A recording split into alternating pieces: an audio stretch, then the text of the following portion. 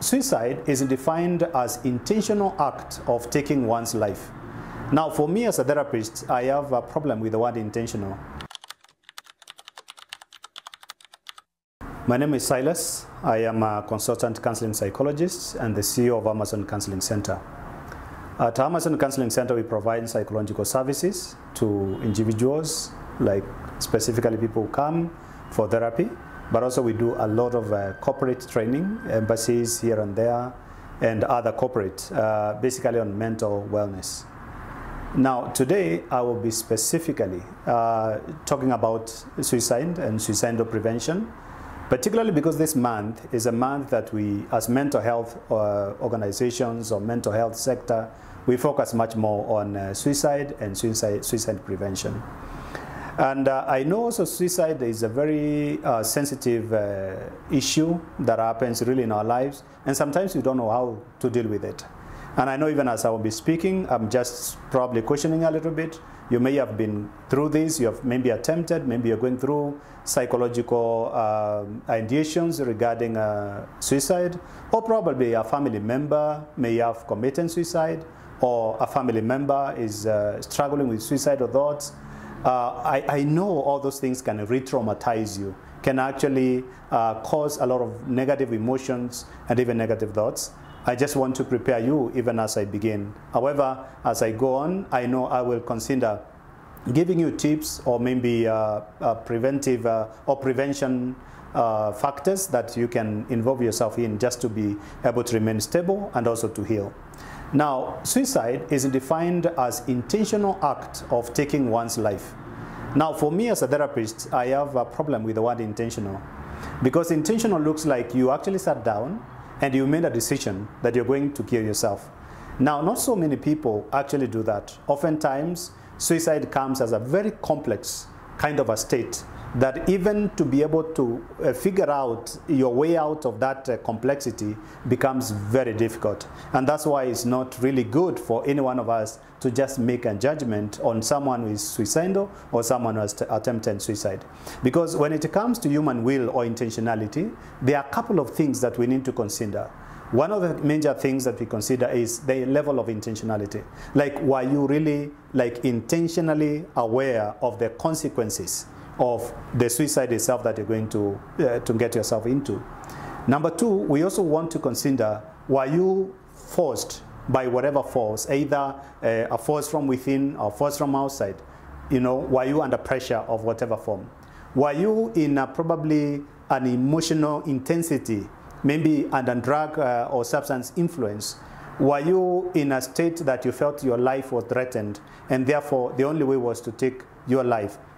So we need to consider all these factors so that at least we are able to tell that someone was intentional about suicide. But oftentimes, even what we hear from people who come and share with me who have survived suicide, they will always tell you that they did not want to die.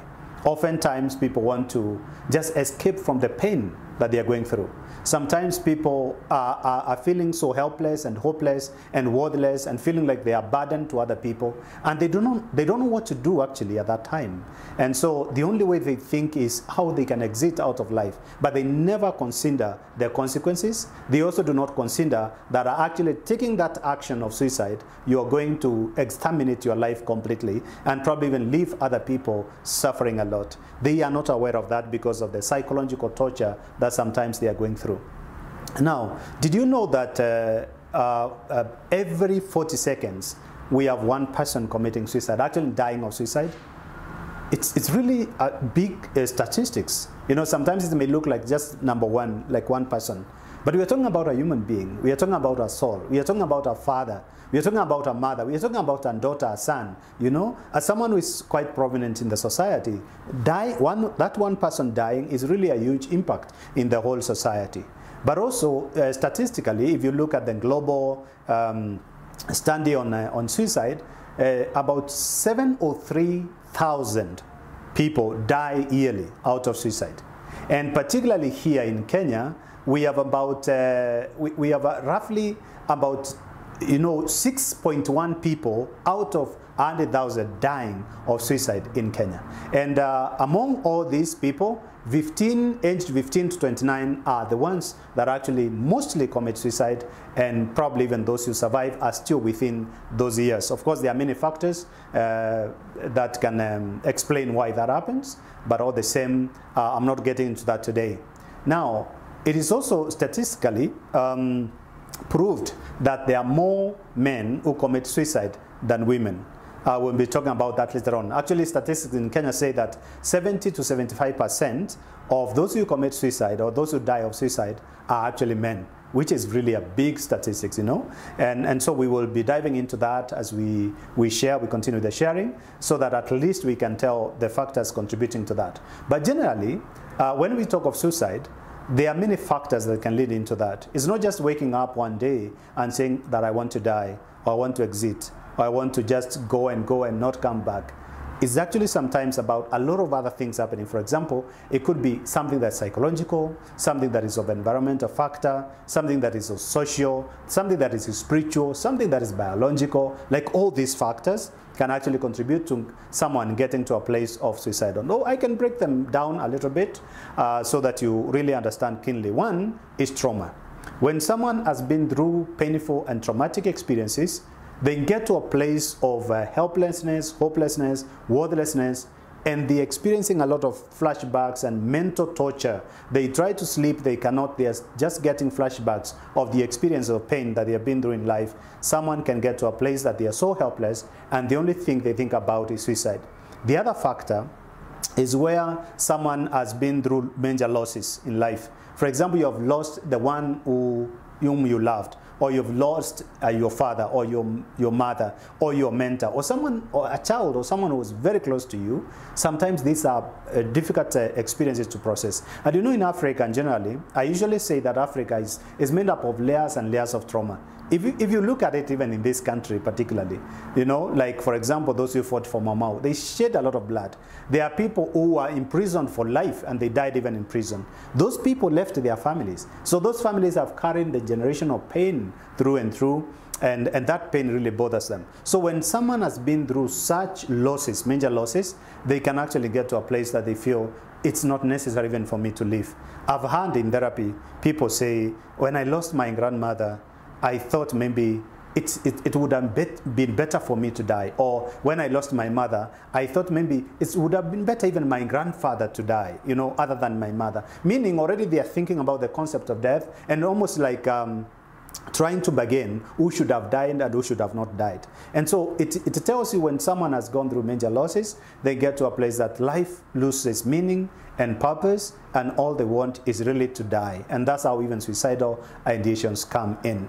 Another factor that can contribute to this is lifestyle uh, pressures. Like, for example, there is economical pressures that we're going through right now. Maybe you've taken a loan uh, from um, uh, different uh, organizations and, and different, uh, I don't know how they call them, uh, all these, uh, you know, there are companies, many companies, even hubs that are coming and they're giving loans, you know. You have taken one loan here, another loan there, another loan the other, M-Pesa, M-Shwari, and everything else. And at the end of it, of the day, all these people are calling you and they want you to give back their money. And the interests are so huge, you know, and you don't know how to deal with that situation. Sometimes you switch off your phone, but probably you get your daily bread through the phone. Maybe some people call you and give you a job. There is no way you can just go off completely. And so the moment you try and register, and register a new line, for some reason they fight you and they start calling you. Sometimes they are knocking at your door every morning. People probably have come and they are taken everything that you had. And so you can get to a place that you're so overwhelmed and the only way is to get out of uh, existence by committing suicide.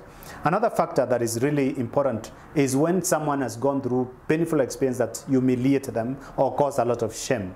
Uh, those experiences also may sometimes make someone feel like they want to commit suicide. So these are just a few of the factors that I can mention and maybe how can I forget about uh, uh, maybe divorce, relationship issues. Uh, we have seen a lot of that happening. You get into a relationship, you sacrifice everything, maybe your parents were giving even a, a, scholarship to go to study in another country. You sacrifice so that you can get married to someone.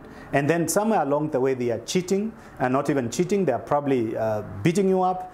And so the violence is too much, maybe the alcoholic and all those things happening. You feel abused and completely broken and you don't know how to move on with life. And so when it gets there, you lose meaning because you feel, I can't go back to my parents because already I told them, no, I don't want to study, I don't want to do anything, I want actually to go on and get married. Now, where will I go to? You know, traditionally people used to say, I'm going back home. Now you can't go back home again because already in that area, you have already uh, destroyed the relationships there. And you know, sometimes when you get into relationships with such people who are manipulative, they manipulate you in a way that they make sure that they have cut you off completely from any support system. And so they are the ones who are now, you are at their disposal. And they can do with you whatever they want. And so when it gets there, you don't know who to talk to. Maybe you, are, you could be even a pastor. You know, you're running a church you know, even mentoring couples. And sometimes you don't know what to do because you can't tell anyone that your marriage is not working. And so when it gets there, uh, people think of suicide and sometimes even they go ahead and commit suicide. And the other thing also I think is important to mention is when someone has um, chronic illnesses. Like for example, you have cancer, you're really going through a lot of pain, you've been told maybe you're stage four and you know that there's no remedy, uh, people start wishing death and sometimes they actually go ahead and even commit suicide. So these are a few factors that I can think about. I know there are so many factors that uh, we can consider as causes of suicide. Now, having said that, I also want to say that uh, suicide is more, uh, more in men than in women. And uh, I just uh, identified a little earlier as I was sharing that uh, in Kenya particularly, 70 to 75% of the suicide committed uh, they are actually men who have committed the suicide. But also again, is uh, statistics worldwide, uh, we say that there are two to four, two to more men are two to four likely to commit suicide uh, more than uh, than women, uh, and that is, is again a big number. And you would want to know what are the factors.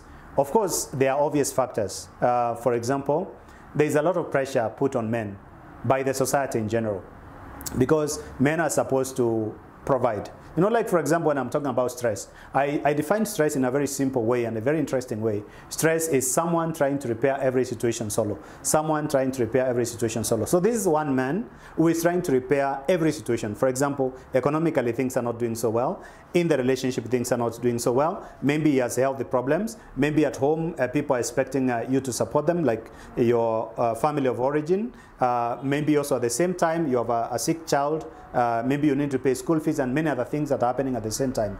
So this is one just one person who is over, um, abandoned and over, over, overwhelmed by all these experiences, and therefore someone can actually easily get into a place where they think of committing suicide. Number two is because men are, are not likely to seek help because again of the, um, the stigma that is there uh, with the mental illnesses. So if someone is going through uh, mental illness, let's say for example like suicide, I, I mean uh, depression, or someone is going through uh, maybe schizophrenia, the, you know, oftentimes people look at them, mental illnesses as behavior choice. Like, like, because again, the problem, the big problem we have in the society, and even in mental health, is that uh, mental illnesses manifest like behavior. So for example, when someone is crying, a man who is crying because they have, they have uh, depression, and uh, depression makes someone constantly cry, so you found yourself crying, you don't know how to present that to your, to your, to your family, for example. How will your wife perceive you? Will perceive as a weak man. You're not able to face life. And so you can't go to other men also and tell them that uh, you, you, you're unable to, to keep calm, as in you have this intrusive thought that you can't uh, sleep at night. You can't tell your, your, your friends that uh, you can't wake up to go and work, like you don't feel motivated to go and work. You know, they will look at you like a lazy man. And, and so that is one big problem that we have when it comes to mental illnesses because they manifest like behavior. And in our society, behavior also is categorized. You know, there's some good behavior, there's some bad behavior. And so when they see a sense of weakness, they immediately start attacking you instead of reaching out to actually help you and see why are you not motivated to go at work? Why are you crying the whole night? Why do you seem uh, a bit more angered, like you, you have high, high, high temper or something like that? People do, will not focus on that. They will say, ah, ni mtu asira, or that, that guy is not good. He's always get angry. Don't be where they are. They can beat you up or whatever else. That's what people will tell you. But actually they don't realize there's someone who is struggling a lot in their, in their thoughts. So because they can't go to anyone for help, they actually decide and commit suicide. But also the other way is because men have more access to lethal uh, tools or weapons that actually, uh, more than even uh, women, that can be used for, for, for suicide. For example, it is more men who have gun than, than women. That's, another factor that we know. And number two, also we know that men are likely to use, for example, a knife more than even women because women fear pain generally. But men have been uh, cultured in such a manner that they don't have to be afraid of pain that much. I'm, I'm trying to consider like communities like uh, communities like Meru, uh, where men are circumcised, you know, in a, like you put them together, like 50 of them, and they are circumcised without any treatment, without any medicine whatsoever, without anything at all. You know, going through all that pain. And the general struggles that men go through kind of harden them up. And so they can easily uh, commit suicide. And even access to, to poison, uh, pesticide is one of the things that are being used around here. Men can access that more. And probably even men have more money than women. Uh, that is probably something that people can debate. Uh, but all the same, they have more money. They can access actually what it is they want to use for, you know, to, to be able to complete the process of uh, uh, committing suicide. Another factor that would make men uh, commit suicide more than women is because of the masculinity part. Because masculinity part means men uh, are pressurized to be strong, are pressurized uh, to actually overcome everything. And, and, and, and so, like when someone is going through a mental struggle and they cannot overcome that, then they feel weak and they can't tell anyone, and therefore ultimately they end up committing suicide. But also more men use substance more than women. That one we know. And so when you are under the influence of suicide, I mean uh, of substance, you can easily uh, find yourself um, getting into a place we call uh, uh substance use uh, or substance induced psychosis or substance induced uh, depression or substance-induced mental illness generally. And, and so when you get to that place, you can easily actually get to a place of committing suicide. And so that's another fact that makes men uh, to be more um, susceptible to uh, suicide than, than even um, uh, women. Now, the other factor that we need to consider is to ask, again, how can we come in and help? How can we support not only men, but the entire society? Because again, it's, it's, it's, it's, of no use for me to be here sharing about suicide and actually not go ahead and give people uh, some information how they can, first of all, identify and then prevent. So when you try to identify suicide, you know, most of us, we expect that someone will come and tell us that I want to commit suicide. Very few people will tell you that. But people will come with cues or statements like, I feel useless, I feel no one loves me, I feel rejected, I feel like um, I, I am a burden to people. I feel like I'm going through too much. I would rather be dead. Uh, or I want to go somewhere and be there for a very long time, switch off my phone and just sleep and never wake up again. So when you hear such statements, someone is actually telling you that they have gotten to a place of existential crisis. They are already wondering, why am I existing? And the only thing that they will get to, either they will tell you or not, is the suicidal thoughts. Uh, very few people will say that they are suicidal. And this is to mean that actually if we wanted them to prevent suicide, it's very easy because most people will speak and talk about it in that manner. So you only have to know when someone is suicidal by getting to understand those cues. Uh, they say actually 99% of those who commit suicide will have communicated in some way. Either they will have said, uh, maybe in the family setup, I know you guys, no one loves me, and I better not be part of this family. So when they say such a statement, already they are suicidal in a way. Maybe they haven't gotten to a place that they are thinking about it, but they're already experiencing existential struggles and they don't know why they are part of that family. Now, having said that, I will also say now when it comes to prevention, uh, we need to consider a couple of things. One, we need really, really uh, to create awareness and educate people so that people will know uh, what suicide is. And because once you know, you, are, you, you can prevent either someone else or you yourself, you'll know when you're suicidal, especially when you get into those places that you're feeling like life has no meaning, you're feeling worthless, you're feeling a lot of shame, uh, you're feeling like uh, there's a sense of worthlessness or a burden to other people. When you get there, you know, the next move will be suicidal thoughts. And so once you know that, you'll be able to prevent either to speak up or reach out for, for help. Um, number two also, it is very important uh, to educate people on uh, stress management and conflict uh, resolution uh, skills.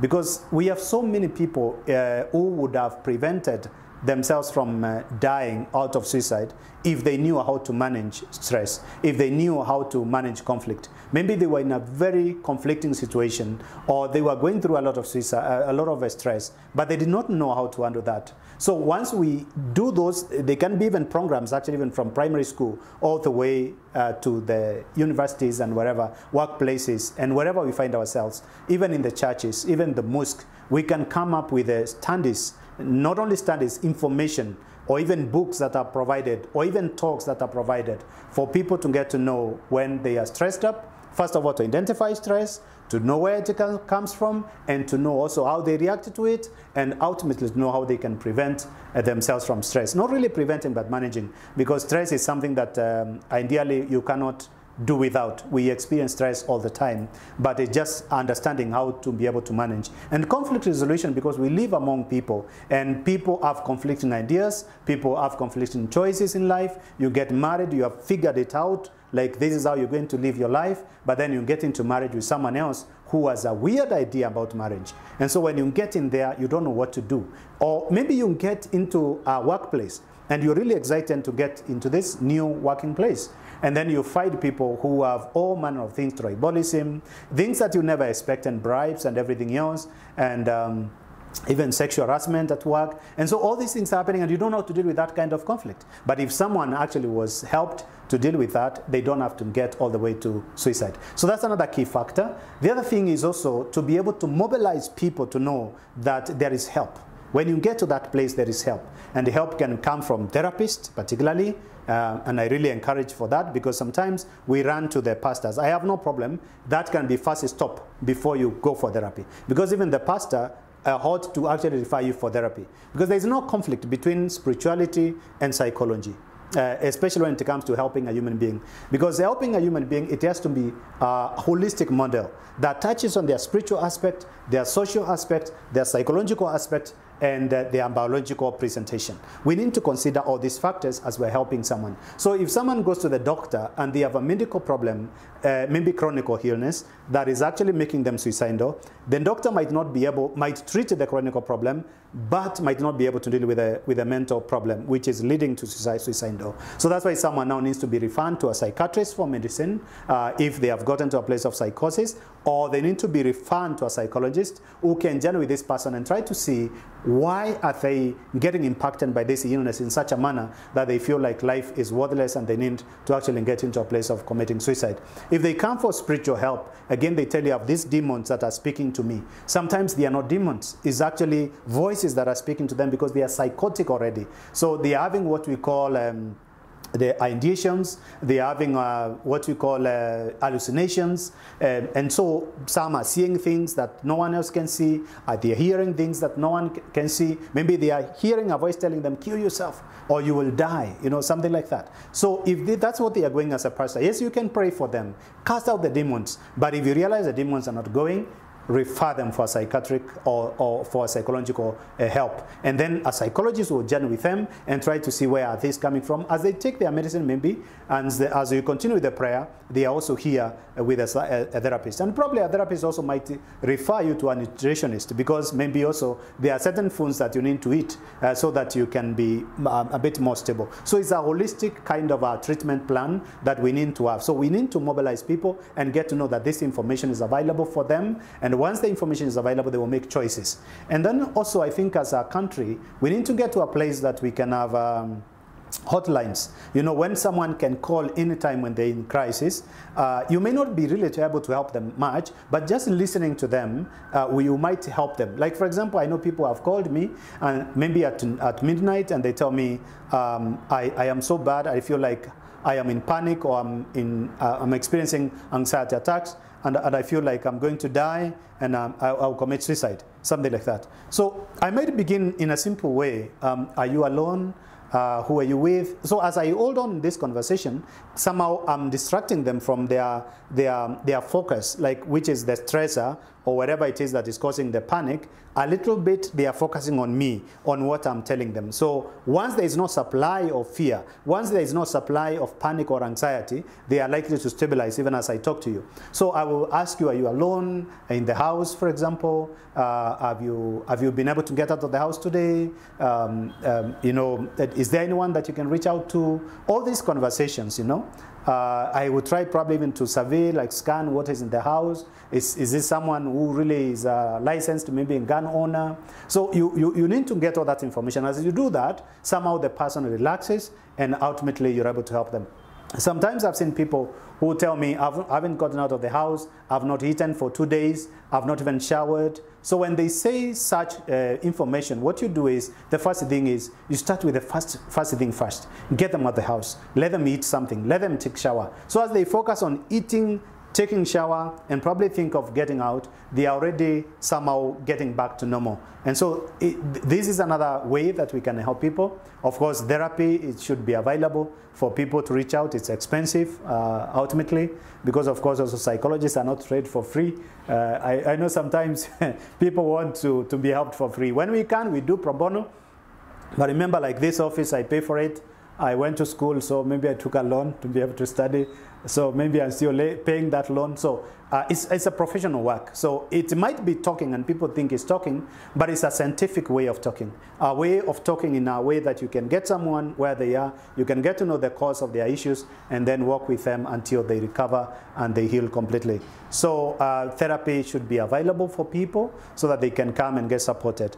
Um, uh, the other way of helping someone with suicidal is having a strong support system. I'm trying to imagine someone who is alone, maybe an orphan, there is no member of the family who exists, you're all by yourself, and then you're in this problem, you have even no friends, what will happen to you? So having a, a, support system, either intentionally you yourself or some people around you can gather and support you. Like there are friends who have brought their own in therapy. They say, our friend is suicidal, or our friend uh, is, is, a, is, a, is, is alcoholic, or our friend is mentally sick. We want you to help, we'll pay for that. So having that kind of support system, it really helps a lot. Or even friends that you can open up to. You know, I usually ask people, do you have that one friend that you can you can completely open up to? Like, allow me say this, like you can be naked in front of them, like everything, nothing that you're hiding. Can you do you have that such a friend? If you don't, I think it's an investment. It's something you can think about before the end of the year.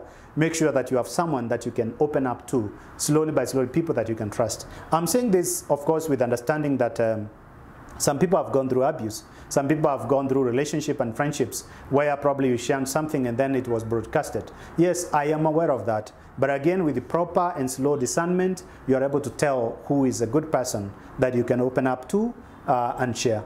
Uh, I usually say don't have friends who are there because they want something from you.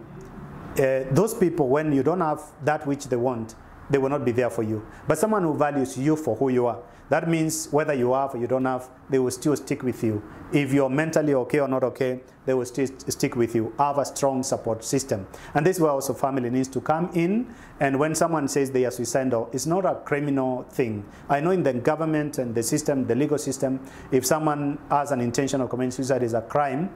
Uh, but I think it's time we change the narrative to tell also it's a state of mind it's not just because you sat down and wanted to die, but it's a state of mind. Someone is, is really uh, interwoven uh, with a lot of mess that has happened maybe in their lives and they don't know how to deal with that. So as a society also we need to change the narrative of um, of suicide. As in, when someone says I'm suicidal, we need to see them as someone who is saying, I need help. And spiritual help, particularly if you're a prayerful person, you, have, um, uh, you believe in God, for example, in this case, that's something that we take lightly, and especially many psychologists won't think of that. But uh, I have found people who have gone through so much in life, and you ask them, How did you survive? And they tell you, God helped me. God helped me. Or someone tells you, I'm going through so much, but I have hope in God that I will, I will get throughout, through this event. Now, when someone tells you I have hope, I can tell you that someone who is not depressed. Because you cannot be depressed and be hopeful at the same time. You cannot have this mental illness like uh, schizophrenia and at the same time you actually have hope. Unless there is another source of your hope. Because your source of hope is not on your, your, your ability. Is now on another level, which is now believing in God, for example, knowing that He can help you even if you can't help, because the helplessness you experience is so much that you feel like you can't be rescued or redeemed. But if you believe in God, you believe that God is higher than you, He has more resources than you have, he is able to work in ways that you cannot understand, but somehow will help you. Or even experiencing the love of God, that God loves you, uh, you feel like even if the whole world has rejected you, even if you're, you're, you're found yourself in a very shameful situation, you know that He is willing to welcome you and to forgive you. These are simple concepts that actually I really encourage people to work on. And even prayer, being able to sit down to do something. You know, we are talking of helplessness whereby you have tried to stop the intrusive thought, you can't. You have tried to wake up, you're not able to. You try even to bathe the baby, you feel like it's, a, it's like digging of, you know, digging a hole one acre of land. You know, that put into a very helplessness kind of a situation. But the moment you say, let me pray for my situation, it's almost like there's still something more I can do. And so that prayer also is, uh, is another thing that is very helpful. And also I know where there are genuine um, Christians or Muslims or religious people, they can come and journey with you and support you even as you go through what you're going through. And ultimately, as I conclude, I would want to encourage you to tell you that uh, whatever it is that you're going through, you can find uh, healing. You can find a way of managing.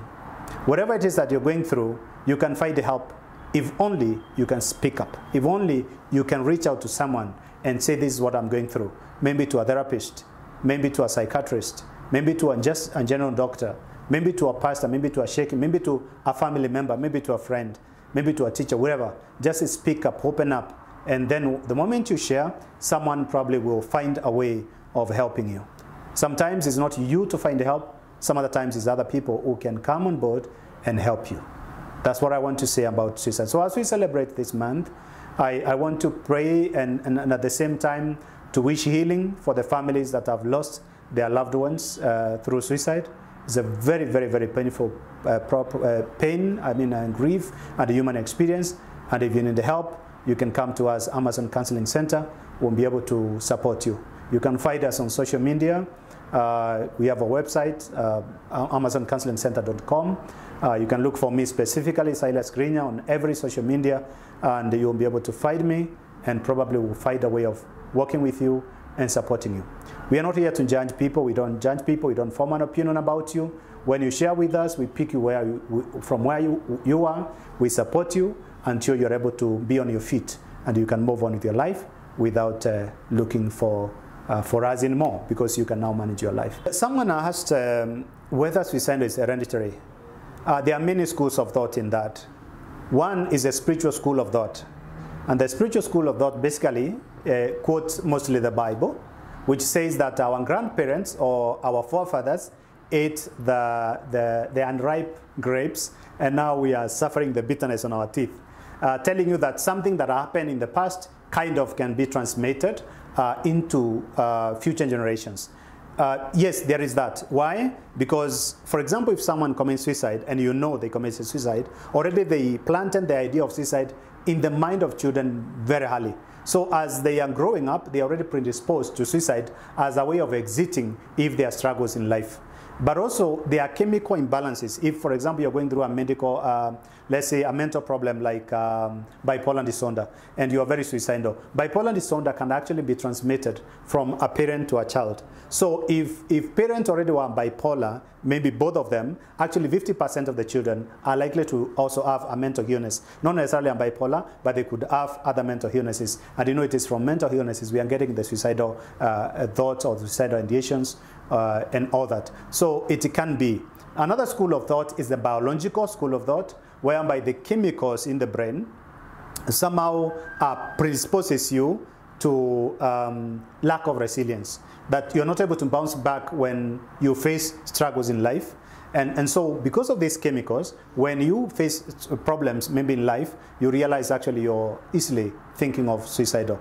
Another school of thoughts uh, would be, uh, I think also spiritual, where there are uh, curses and all that. It can be traditional, it can be also uh, spiritual, whereby there are curses that have been passed from one person to the other, and these curses actually can uh, present themselves in form of uh, suicidal thoughts. And where people are talking of demons, spirits, and all those other things, uh, because we are not completely uh, eradicating the spiritual perspective.